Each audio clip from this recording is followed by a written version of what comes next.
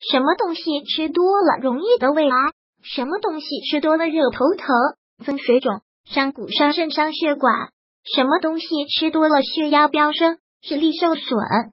其实这提到的所有害处，有一种每天必吃的食物都占全了，那就是食盐。多吃一口盐，伤害遍全身。一伤血管，盐吃多了会引起高血压，同时还会使血浆胆固醇升高。促使我们的血管变薄变脆，这就是非常可怕的动脉粥样硬化。如果心脏血管动脉硬化，那就会导致心肌梗死、冠心病的出现。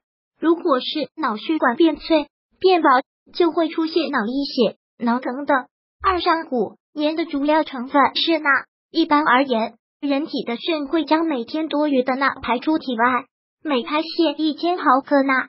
会同时耗损二十六毫克钙，人体摄入的钠越多，需要排出体外的钠就越多，而钙的消耗也就越大。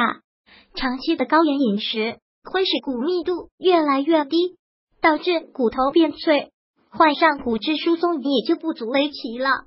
三伤心脏，这份研究中指出，人们每天摄入的氯化钠超过十三点七克，心力衰竭的速度会翻倍。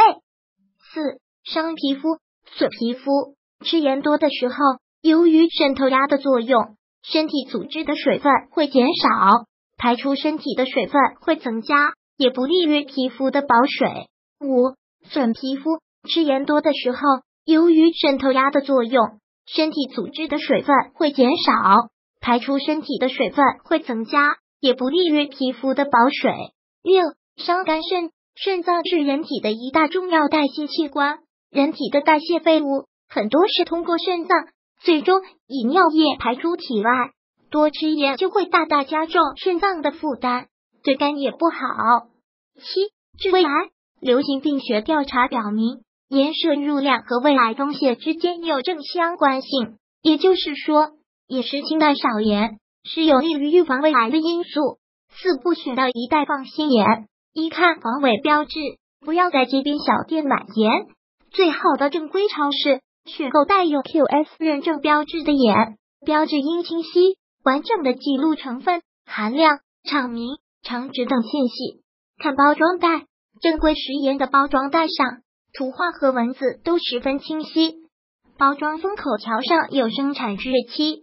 如果发现包装上的字迹模糊不清，甚至有重影，封口不紧，很可能是劣质盐。另外，真盐袋两头封边宽度相等，假盐袋子上的锯齿棱角分明，包装袋往往会一端长一些。三看质地，正规食盐的质地细腻，不粘手不黏腻。四闻味道，符合国家标准的食盐是白色无异味的。如果发现自家食盐有臭味或其他味道，应避免食用。不同人吃不同盐。中国营养学会常务理事黄成玉说。盐分为无碘盐和加碘盐两大类，沿海居民海产品吃的多，当地水中的碘含量也较高，可选择无碘盐。患高血压、冠心病的患者可购买低内盐，因为低内盐的钠含量比普通盐低三分之一左右。钾、镁含量较高，那可导致血压升高，而钾和镁有利于预防高血压，保护心脑血管。不过，低内盐所添加的钾会增加肾脏的负担，肾脏功能不全、肾衰竭的病人应避免食用。大多数中国人吃的是海盐或井盐。放盐讲究时机，烹调前先放盐的菜肴，蒸至快热时，蒸前要将盐、调味品一次放足。烧整条鱼、炸鱼块时，烹制前先用适量的盐腌制再烹制，有助于咸味渗入肉体。烹制结束是放盐的菜，烹制爆肉片、回锅肉、炒白菜、炒蒜苔、炒芹菜时，全部煸炒透时适量放盐，炒出来的菜肴嫩而不老，盐分损失较少。食用前才放盐的菜，刚烹制时就放盐。做红烧肉、红烧鱼块时，肉经煸，鱼经煎后，即应放入盐及调味品，旺火烧开，小火微炖。烹熟后放盐的菜，肉汤、骨头汤、腿脚汤、鸡汤、鸭汤等荤汤，在熟烂后放盐扫味，可使肉中蛋白质、脂肪较充分的溶在汤中，汤更鲜美。炖豆腐时也应熟后放盐，控盐妙招减盐不减味。对一些特殊人群，食盐的摄入量更应有所控制。如糖尿病非高血压患者，应每日少于五克；高血压患者应每日不多于三克；而肾病患者应每日不超过两克。同时，常头痛、易水肿、患慢性咽炎、皮肤差、胃不好、骨质疏松的人也应少吃盐。减盐不减咸味。中国农业大学食品科学与营养工程学院副教授范志红分享了减盐不减咸味的妙招。方法一：晚放盐胜过早放盐。较早放盐，盐分已渗入食品内部，人在同样的咸度感觉下，不知不觉摄入更多盐分。方法二：多放醋，少放糖，适当加鲜香。放糖会减轻菜的咸味，放醋却可以强化咸味。因此，常在菜里面放点醋，可减少盐的用量。做菜时加些番茄酱、柠檬汁，也有一样的效果。咸味不足的食品，如果加点辣椒、花椒、葱、姜、蒜之类香细料炝锅，再适当放鲜味调料品，可以使较淡的菜肴更好吃。方法三：减少含盐食品配料。很多调味品和食品配料中都含盐分，如鸡精。甜面酱、豆瓣酱、黄酱、日本酱、豆豉、海鲜汁、削皮等，应减少摄入。吃多了盐，从头伤到脚，跟骨头抢钙，从心脏抢寿命，跟眼睛抢视力，跟肾脏抢健康。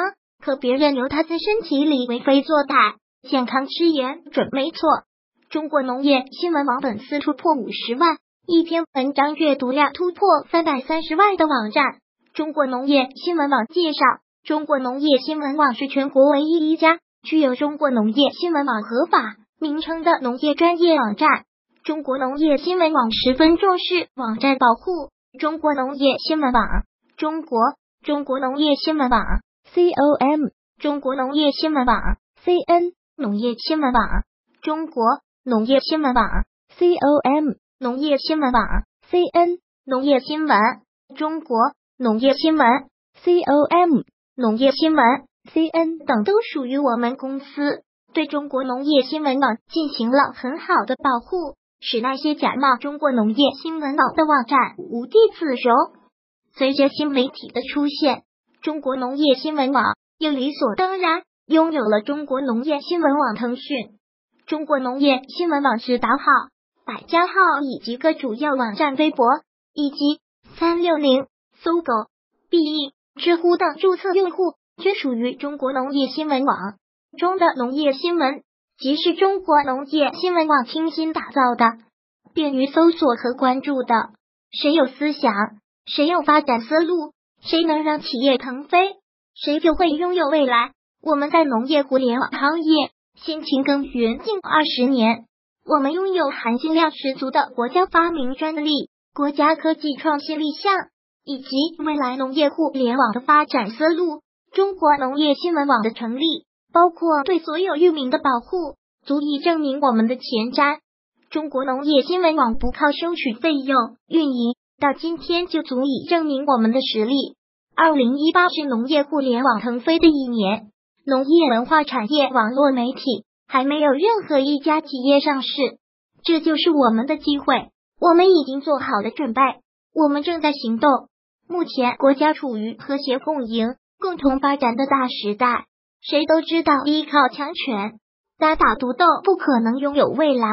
希望有一合作、共谋发展的有识之士，拿出双方都可以接受的具体方案，共同把中国农业新闻网办好，为我国农业发展出力，为我国农业互联网发展出力。